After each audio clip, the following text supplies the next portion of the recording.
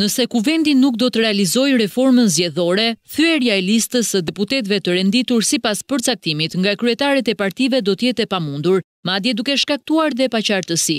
Gjykata Kushtetuese ka shfuqizuar formulën e llogaritjes së herësit, duke e konsideruar atë të lartë, por duke e lënë në fuqi si skemë. Vendimi ka vënë në lëvizje Këshillin e Legjislacionit, i cili nga ana e tij ia faturon çdo gjë Komisionit të Posaçëm. Parashikon herësin në listat e kandidatëve për deputet, i cili është një nga kriteret për fitimin e mandatit të deputetit.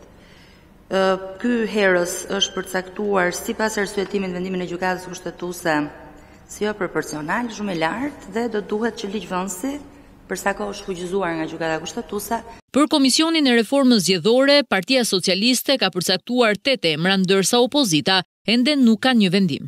Ndryshime kërkohen dhe për pragun elektoral për kandidatët e pavarur, të cilët tashmë do të marrin mandate nëse arrijnë votat e duhura në qark. Pra s'duhet të ketë një prag kombëtar për kandidatët e pavarur për deputetë, kështu që është shfuqizuar neni përkatës në lidhje me këtë çështje, t'i kalojë për shqyrtim atij komisioni. Edhe opozita i qëndron të njëjtit mendim, por ngre shqetësimin mbi ngërçin e votave të Gjykatës Kushtetuese për rastin Beketi. trajtimin e çështjes së ngritjes së Komisionit Hetimor për çështjen Beketi, Gjykata Kushtetuese ka shprehur vendimmarrjen e saj në një raport katër me tre, nëse s'gaboj. Komisioni vendosi të kërkojë dhe rishikimin e ligjit për noterinë, teksa po me rekomandim të Gjykatës Kushtetuese u theksua se ligji i kompensimit të pronave është propozuar të rishikohet prej Qeverisë.